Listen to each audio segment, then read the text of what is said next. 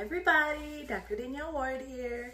I still haven't made it home, but I promised you guys I would start my educational series on plastic surgery because I realized that there is a lot that the outside public does not know about plastic surgery, whereas they think that we're all just cosmetic, breast augmentations, tummy tucks. So I wanted to do a small series to kind of go into the deeper aspects of plastic surgery, offer a little education, and hopefully you guys will come to appreciate my world a little bit more. So today we are going to discuss flaps.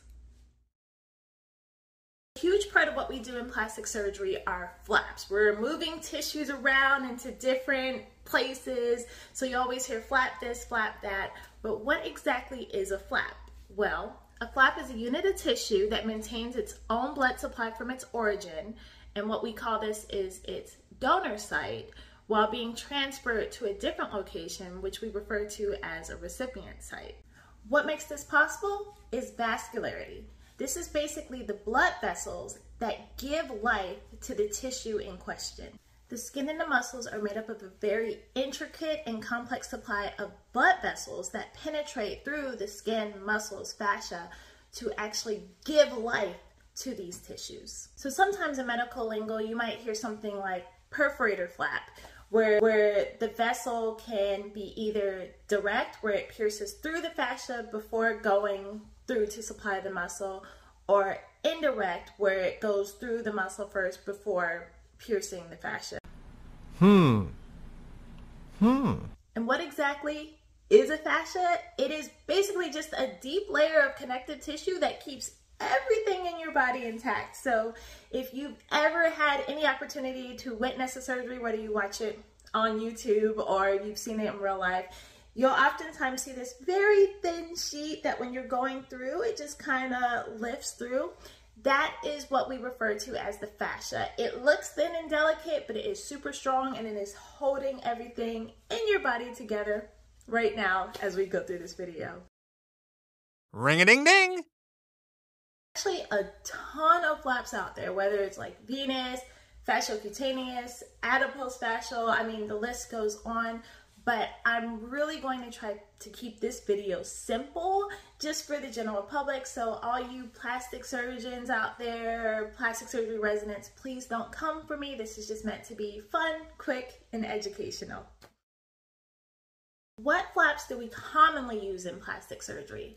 Well, I'd have to say that we use muscle and myocutaneous flaps often. We use these in everything from breast reconstruction, head and neck reconstruction, pressure sores, just any type of general reconstruction. So I'll briefly try to go over those in this, but like I said, this is just brushing the surface of what we do. And speaking on different types of flaps, one thing that we were tested on often, especially every year on our plastic surgery in-service exam, are the Mathes and Nahai type flaps. Please don't come at me if I mispronounce this, but basically, these are flaps that are described based on their vascularity in the pedicles. So you have five different types.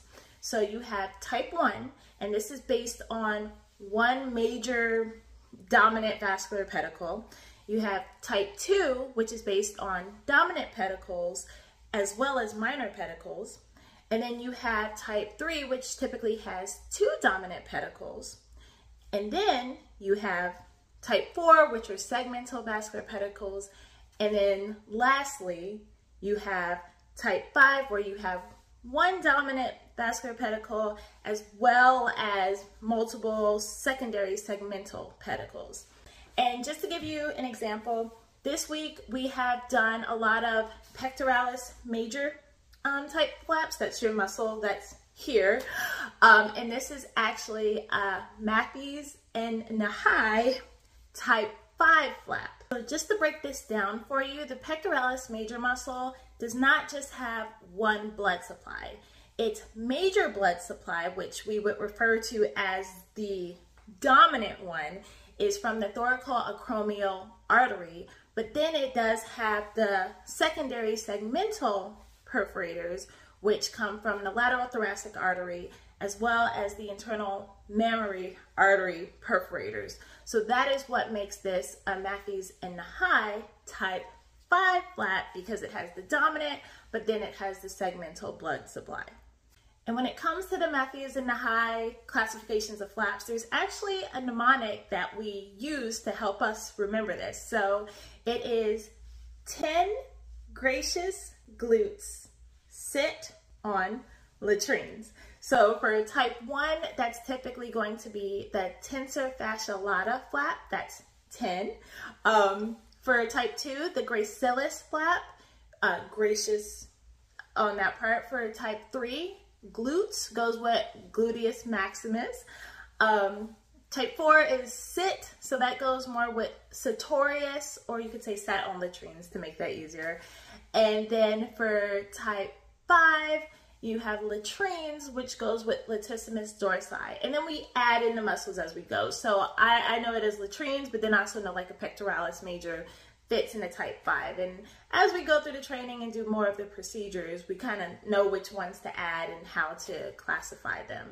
So that's just a little something for, you know, in the training. 10 gracious, gracious glutes sit on latrines. Hope you get at least one question right on the in-service. And then not all flaps are just muscle and skin. There are a variety of flaps. So you have things like a bone flap, which you can take from your fibula, which is the bone in your lower leg, and we actually use that to reconstruct the jaw. And then there's flaps like visceral, which is the omentum. It's this big yellow covering over your abdomen that protects things in place, but we can actually use that to make different flaps as well. And then you have composite flaps. We do a lot of times with, sometimes with, I think I did one with a nose reconstruction where we took uh, ear composite. So composite means it contains the skin, the cartilage, uh, the vessels, all the tissue that's needed. You just take that and then you put that right in. So that's what makes that a composite flap. So flaps aren't limited to just muscle. It can be bone, it can be um, visceral, it can be a lot of things, which is why I'm keeping this short and simple. An important question is, how do you move these flaps? How do you keep them in place? How do you keep them alive?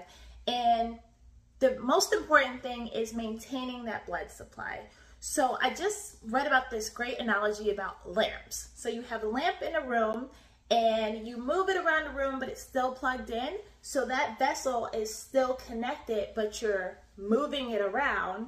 That's a type of, you know, transposition type flap. Whereas if you unplug it and you move it around and connect it somewhere else, then that would be what we call a free flap. So just to give some ideas of different types of flaps we do, there is the rectangular flap, and I'm gonna try to make sure I have pictures here. So I'll say there is the rectangular flap where you create a rectangle. It's still connected to the blood supply. You typically have the defect or the lesion um, above it, and then you just move that tissue up. So it's just stretching that tissue. Same thing with what we have as we call a V to Y. You might have a large lesion and you just make a V um, in line and then you move it up so it is now a V to Y flap. Other types are rotation. This is a semicircular, so you might have a small defect and you create a circle and then you actually pull that skin over so you're just rotating the skin, but it's still connected to its blood supply. And then transposition flap is when you just kind of rotate that tissue over laterally or you'll have a pivot point with that as well.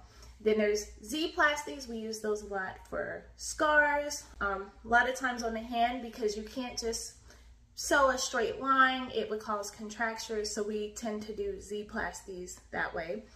And then there's rhomboid flaps, and I'm gonna make sure I have pictures up for everyone. And then interpolation, which would be our island flaps that we do. And for the interpolation, this is typically where it's near but not as close, like on a finger. So that's what it means by interpolation. So what are some common challenges that we see with flaps? Well, the major thing is keeping that flap's blood supply. So sometimes you might see what we call clogging, or in medical terms, you might have venous congestion. So ways that we look for that, we use things in OR like um, spies, which can show, like it's fluorescent and it can show if the tissue is viable or not before you even suture it or put it into place because a lot of times if there's no good blood flow, that tissue will die and you'll get um, just black necrotic and it just, the flap won't survive. There's other things where a lot of times it's just physical examination. You're going to look at the tissue, you're looking to make sure that it's not purple and bloody and congested and sometimes this could be a vessel is kinked where you might have to take back to the OR. Um, with congestion, sometimes we use leeches. where that actually helps um, leeches secrete a substance that actually thins out the blood as an anticoagulant, gets things flowing smoothly. So if you've ever seen leeches in the hospital, that is why we're using it. Um, and then we do things like, you know, there's pulse oximeters that can watch the blood flow for you, but we're constantly watching these flaps to make sure they survive. And we're never afraid to take these back to the operating room and fix them again. So flaps uh, tend to be serious business, especially when you're doing the major flaps. And what are some types of flaps? Well, just to very, very briefly, just go into a few off the top of my head. Um, you have the ALT flap, which is the anterior lateral thigh flap. So anterior means front, lateral means to the side, and thigh. Um, that is a common one that we use a lot. I'll make sure I have pictures here for that.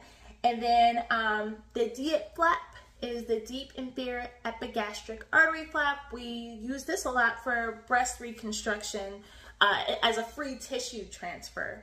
And then another one is propeller flap and keystone flaps. So it's just a very small subset because you can basically create flaps out of anything. Is there a particular flap that I like? Well, I've mentioned it previously, but as a third year medical student, it was a tram flap, transverse rectus abdominis muscle flap, that really got me interested and solidified my desire to pursue plastic surgery. You don't see a lot of that now. It's been replaced by the deep inferior epigastric uh, DIEP flap, but uh, epigastric perforator. Sorry, I had to explain the P part. Um, but you know that was what really did it for me. Another flap that I'm interested in seeing and operating on, but I have never done, is the jejunal free flap. So basically where we take a part of the intestine and we can actually um, reconstruct the esophagus, whether it's uh, pediatric insufficiencies or head and neck cancers. I would love to be a part of that.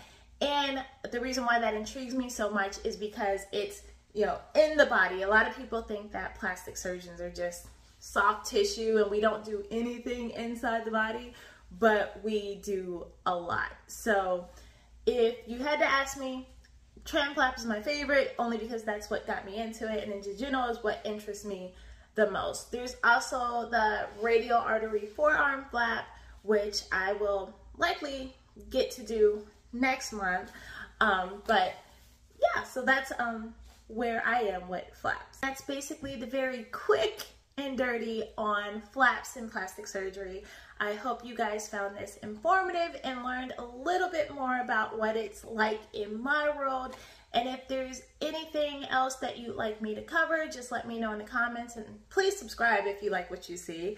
And I will try every week or maybe bi-weekly to go into different parts of plastics that you might not have known about so that I can keep you guys educated and you can see why I have such a passion for this specialty. But right now, I hope everyone has an amazing week ahead. Thank you so much for watching. I truly appreciate it. And until next time, guys, bye.